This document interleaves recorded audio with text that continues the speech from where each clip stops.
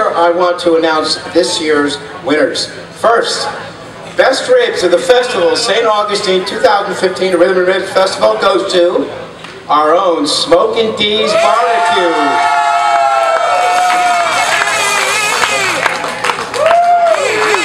Congratulations to Daryl, Sue, and their whole crew. Wonderful, wonderful job. Go D! All right.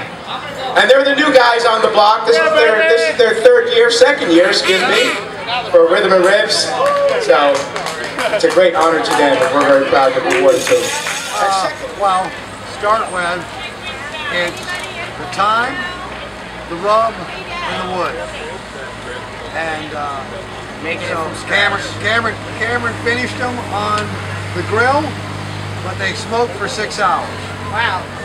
And they were rubbed with the seasoning the night before. So they sit in a rub and the seasoning for 24 hours. They smoke for six hours, and then Cameron had them on the grill for two hours.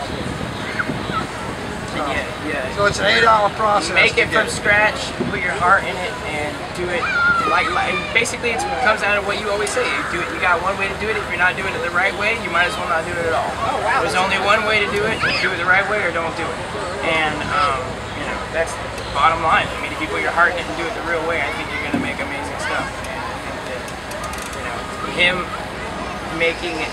You know, just taking it into his own direction and making it the way he wanted to. There's nothing that can touch it. He it. Thank you. All right. Thank you. Thank you guys. Morton, tell me, what does the back of your set say? Vegetarian recovery? Yes. yes. Vegetarian Recovery You got, Center. you got the 78? Uh, yeah, maybe we should. Turn around, turn around that one.